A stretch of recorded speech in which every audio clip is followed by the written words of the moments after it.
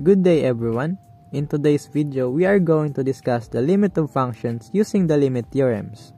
First off, let's have a short review of the 9 limit theorems. Theorem number 1 is where the limit of the function is the constant itself. Theorem number 2 says that the limit of x as x approaches to c is equals to c. Theorem number 3 says that the limit of k times f of x as x approaches to c is equals to k times the limit of f of x as x approaches to c. Theorem number 4 says that the limit of f of x plus g of x as x approaches to c is equals to the limit of f of x as x approaches to c plus the limit of g of x as x approaches to c. Theorem number 5 is almost the same as theorem number 4 but the operation that was used is multiplication. The same situation exists for theorem number 6, but it is for division.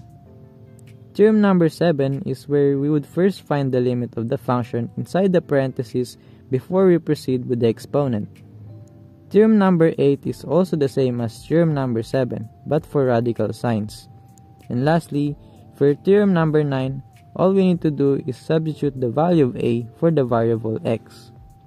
Now that we are done reviewing, let us move on to the first example.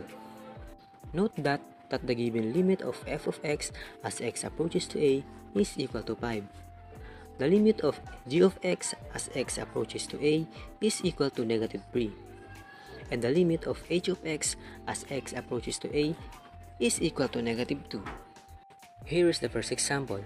The limit of f of x squared times g of x squared all over h of x. The first thing that we need to do is to substitute the values of the following functions. So that would be the limit of 5 as x approaches to a squared times the limit of negative 3 as x approaches to a squared all over the limit of negative 2 as x approaches to a. Using the theorem number 7, we know that we should find the limit of the function inside the parentheses first. But we also know that the theorem number 1 says that the limit is the constant itself.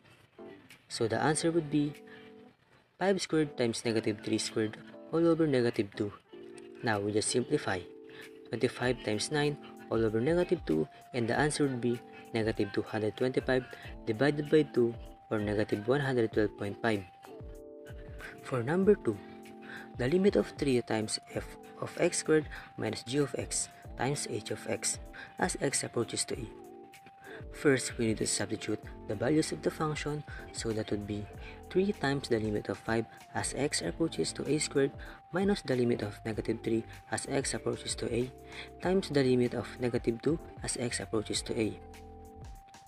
Here we can see that positive, positive 3 in the left side of the limit of 5 as x approaches to a because according to the theorem number 3, k times f of x as x approaches to c is equal to k times the limit of f of x as x approaches to c. Now, using to theorem number 1, where the limit is the constant itself, our answer would be 3 times 5 squared plus 3 times negative 2. We just simplify.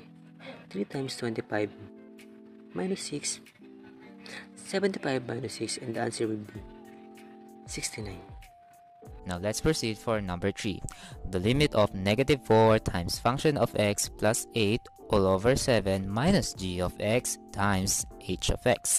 Next, we substitute the corresponding values of the function in the given, and that would be negative 4 times the limit of 5 as x approaches to a plus 8 all over 7. The limit of negative 3 as x approaches to a times the limit of negative 2 as x approaches to a. Same as the last time, we can see that negative 4 is on the left side of the limit of 5 as x approaches to a because of theorem number 3.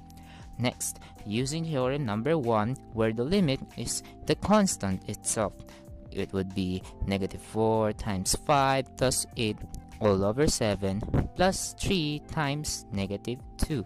Next is we just simplify. Negative 20 plus 8 divided by 7 minus 6. And the answer would be negative 12. Now let's proceed for the next problem, number 4. The limit of 10 times function of x minus 2 over 9 times g of x cubed.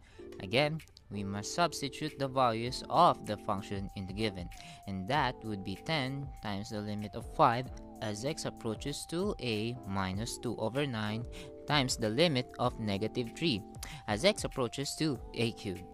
Again, 10 is on the left side of the limit of 5 as x approaches to a because of theorem number 3. After this, the first thing we need to solve is the number inside the parenthesis since theorem number 7 states that we should find the limit of the function inside the parenthesis first before moving on to the exponent. So again, using the theorem number 1, it would be 10 times 5 minus 2 over 9 times negative 3 cubed. Now, we just simplify. 10 times 5 is 50 and negative 2 over 9 times negative 27 is 6. 50 plus 6 is equals to 56, so that is our answer. Now let's proceed for our last problem, number 5. The limit of h of x minus 12 times the function of x over g of x squared. First, substitute the corresponding values of the function in the given, and that would be the limit of negative 2 as x approaches to a minus negative 12 times the limit of 5 as x approaches to a over the limit of negative 3 as x approaches to a squared. Negative 12 is on the left side of the limit because of theorem number 3. Next, using theorem number 1 where the limit is the constant itself, the answer would be negative 2 minus 12 times 5 divided by negative 3 squared. Next, we just simplify negative 2 minus 60 divided by 9 which is equal to negative 62 over 9.